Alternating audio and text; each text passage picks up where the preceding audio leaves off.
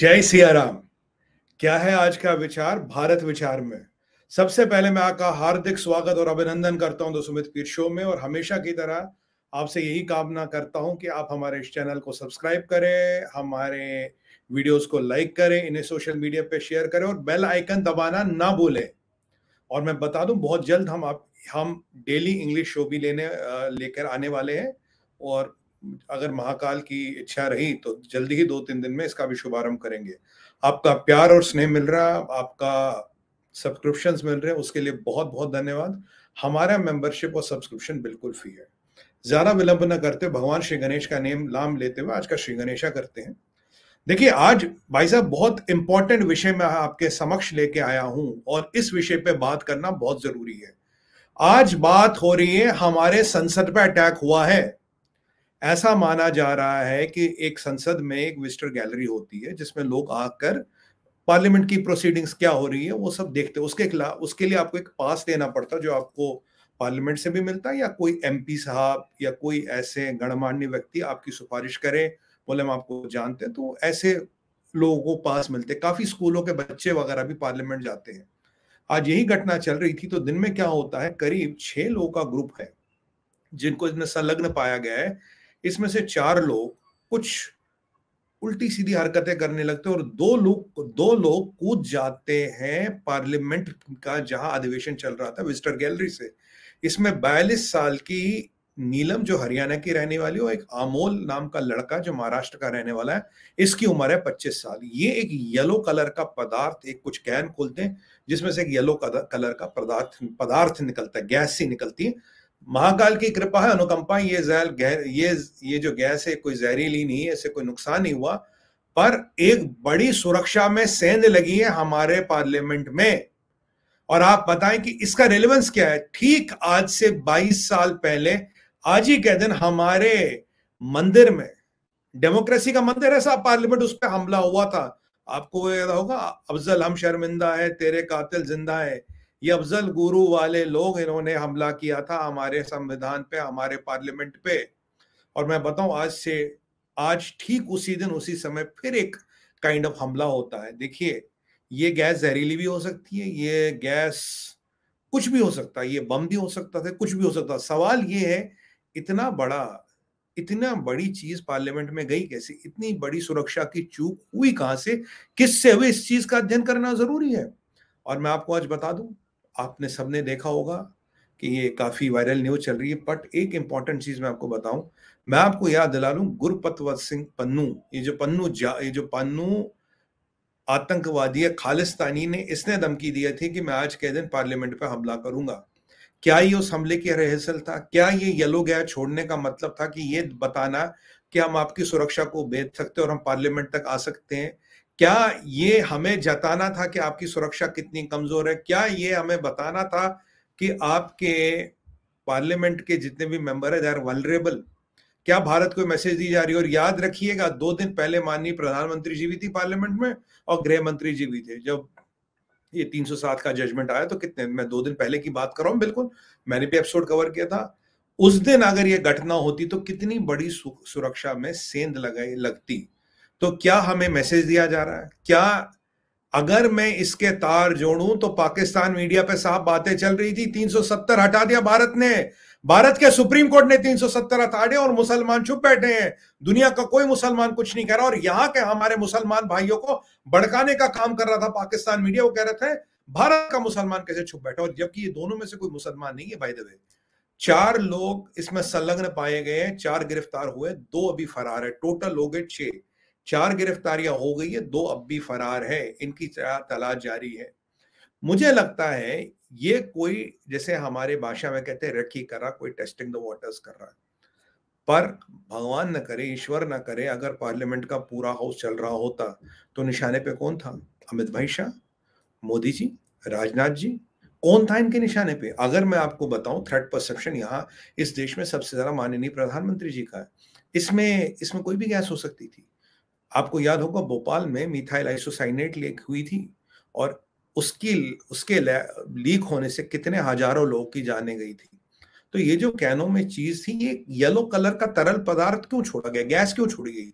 Yellow colour की gas दूर दूर तक दिखती और हमें ये बताया गया कि हमने ये गैस छोड़ी है ताकि आपको समझ आए हमारी मारक क्षमता कितनी हम किस किस हद तक मार सकते हैं। इसमें आईएसआई इन्वॉल्व हो सकता है। इसमें मेरा आकलन है कि टर्किश इंटेलिजेंस का भी हाथ हो सकता है। इसमें चाइनीज़ का भी कुछ लेना देना हो सकता है। इसमें ये जो अर्बन नेक्सल है, या जो हमारे यहाँ ये नेक्सलाइट्स है, इनका भी कुछ लेना देना हो सकता है।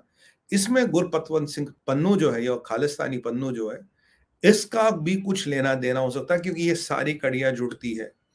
तो माननीय हमारे जो स्पीकर साहब है, ओम बिरला जी, उन्होंने इस पर वक्तव्य दिया और ये बताया उन्होंने बहुत बड़ी सुरक्षा में चूक हुई है, बहुत बड़ी सेंध लगी है और पर मैं सराहना दूँगा हमारे एम की, हमारे लोगों की, क्या पकड़ा भाई साहब, क्या पकड़ पकड़ के मारे हमारे एमपी लोग जो थे, खुद कूदे हैं। सबसे पहले अपनी सुरक्षा हमारे एमपी ने खुद की, क्योंकि आज हमारे एमपीओ ने भी ये बता दिया we are not sitting ducks यानी कि कोई भी आके कुछ भी कर जाएगा, बैठे रहेंगे, अब डरपोक नहीं नहीं।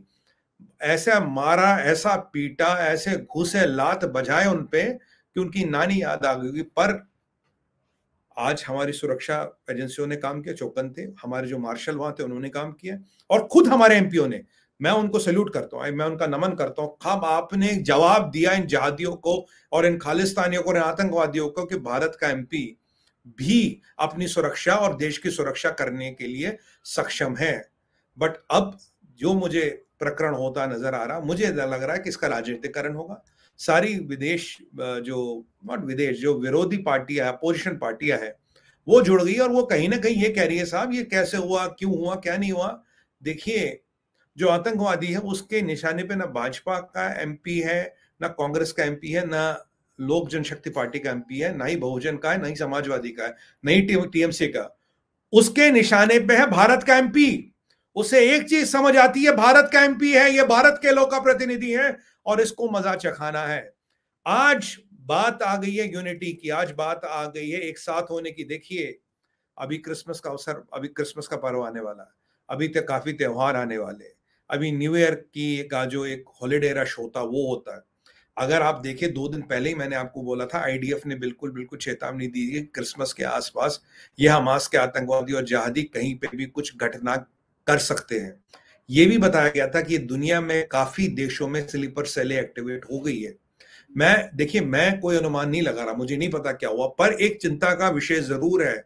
कई सारे संभावनाएँ, कई सारे कारण हैं, क्योंकि we always live under a perpetual threat जो इसराइल में सात अक्टूबर को हुआ था, जैसे उसको लाइटली नहीं लिया जा सकता, जो आज हुआ, इसको लाइटली नहीं लिया जा सकता। मान लीजिए, जहरीली गैस होती।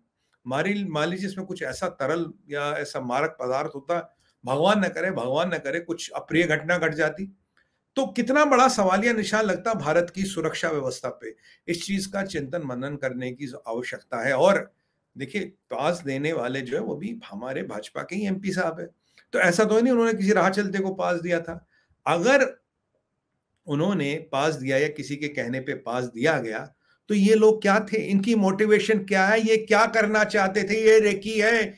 ये हमें जताना चाहते हैं, ये मीडिया को बताना चाहते हैं।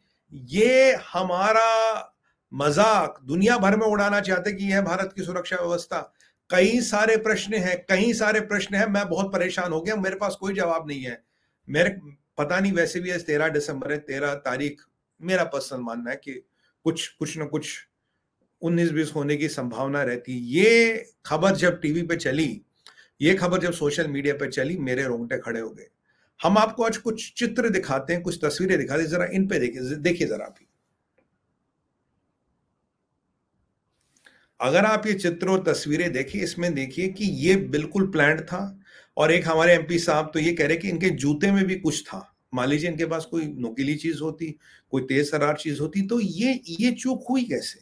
कौन इसमें संलग्न है?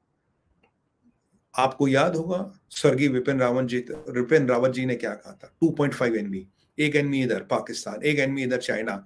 और ये जो 2.5 एनमी है, जो भारत में रहता है, भारत की खाता और उसी थाली में छेद करता है, इसे सतर्क रहने की ज़रूरत है। और याद रखिएगा एक चीज़ enemy agents do not look alien ये जो विदेशी एजेंट होता है कोई काली हैट और काला मफलर और काला जैकेट और वो जो जेम्स बॉन्ड की मूवी में दिखाते, वैसा नहीं घूमता साहब वो मेरे आप जैसा दिखता, हम सब जैसा दिखता। वो इतना साधारण दिखता कि हमें साधारणता से भी, सदैव भी एक नियमित प्रक्रिया में भी उस पर शक की संभावना तक नहीं होती। और एक कॉन्सेप्ट बताऊँ मोल्स मोल्स को 10 साल 15 15 साल इन्फिल्ट्रेट करा के रेस्ट कराया जाता है और एक दिन उनको यूज़ किया जाता है। देखिए, जो हमारे विरोधी हैं, इन्होंने लास्ट टाइम पार्लियामेंट के अटैक से ये कुछ सीखे, इन्होंने भी कुछ लेसन लिए हैं। अब इन्हें ये तो समझ आ गया, भाई, एक एम्बेसडर गाड़ी लेके उस पर पार्लियामेंट का स्टिकर लगा के अंदर नहीं आया जाएगा। तो क्या तरीके हैं पार्लियामेंट के अंदर घुसने के? कौन से ऐसे पैतरों को यूज़ किया जाएगा? महाकाल की बड़ी बड़ी अनुकंपा, उनके सामने भी बैठा हूँ, सामने उनका चित्र है, कि माननीय प्रधानमंत्री मोदी जी वहाँ नहीं थे, अमित भाई शाह नहीं थे, और हमारे गणमान्य लीडर नहीं थे। देखिए कांग्रेस बीजेपी की बात नहीं है, देश के सम्मान, मान सम्मान और स्वाभिमान की बात है। और ऐसी परिस्थितियों में जब इलेक्शन होने वाला है, आप मुझे हमेशा कहते थे कि सुमित भाई, अभी इलेक्शन आने वाला है कि कोई पॉलिटिकल खतरा है क्या? मैं आपको हमेशा कहता था, खतरा पॉलिटिकल नहीं है, खतरा केवल एक है, खतरा है जियो पोलिटिकल पोलिटिकल खतरों से निपटना भाजपा को, माननीय प्रधानमंत्री जी को आता है। अभी तीन तीन स्टेटों में शानदार विजय हुई है। नए युवा प्रतिभाशाली तीन मुख्यमंत्रियों का चयन हुआ है। 370 पे माननीय सुप्रीम कोर्ट ने मोहर लगा दी।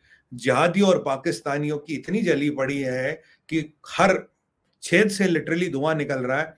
ऐसे में ये कहा किस हद तक जाए, कहाँ तक जाए, कुछ नहीं पता।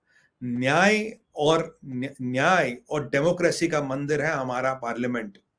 और देखिए पार्लियामेंटेरियन कांग्रेस का हो, पार्लियामेंटेरियन टीएमसी का हो, हमारे राजनीतिक मतभेद हो सकते हैं राजनीतिक लिए हमारे विचार नहीं मिल सकते। पर जहाँ देश की अखंडता और एकता की बात आएगी, जहाँ मान सम्मान, स्वाभिमान की बात आएगी, जहाँ जीवन और रक्षण की बात आएगी, हम एक है। और आज हमें यह मैसेज पूरी दुनिया को देना, आज हमें कृपया करके इसका राजनीतिकरण नहीं करना। और मैं आपको जाते जाते एक बात बोल दूँ अगर ये घटना पार्लियामेंट में हो सकती है 2.5 एनमी याद रखिए, इस पॉइंट को ढूंढना, इसको आइडेंटिफाई करना और इसको बेनकाब करना, आपका और हमारा काम भी है, ये नहीं है कि सुरक्षा एजेंसियाँ करेंगी, हम नहीं करेंगे, हम भी करेंगे, आप भी करेंगे, हम सतर्क रहेंगे, हम देश के, हम अपने शासन प्रशासन के आँख, नाक और कान बनेंगे और ये सुनिश्चित करेंगे कि किसी भी आतिताई और आसुरिक शक्ति के जो भी उन्होंने प्लान बनाए हैं, जो भी उनकी परियोजनाएँ हैं उनको हम न्यस्त कर देंगे, उनको हम निष्क्रिय कर देंगे और दिखा देंगे कि भारत लड़ना भी जानता है, भारत डिफेंड करना भी जानता है और भारत ज़रूरत पड़े तो घर में घुस के मारना भी जानता है। त्योहारों का टाइम आ रहा है न्यू ईयर आ रहा है क्रिसमस आ रहा है, और भी अन्य त्योहार आ रहे हैं। मेरा आपसे यही निवेदन है, कृपया सतर्क रहे, कृपया अपने आँख, नाक और कान खुले रखे। कोई भी चीज़ आपको लगे कि भाई कुछ गड़बड़ है तो जो हमारी अथॉरिटीज है, उनको आप रिपोर्ट करें, खुद उसको हैंडल करने की कोशिश ना करें। मैं इसी समय, इसी के साथ अपनी वाणी को विराम विराम देता हूँ क्योंकि समय की सीमा भी है। और आपको ये बता दूँ, जो मेरा पेड एडवाइजरी है जो मैं एडवाइजरी सर्विसेज़ देता हूँ ग्लोबली उसके बारे में एक वीडियो है, ये आप जरा देखिए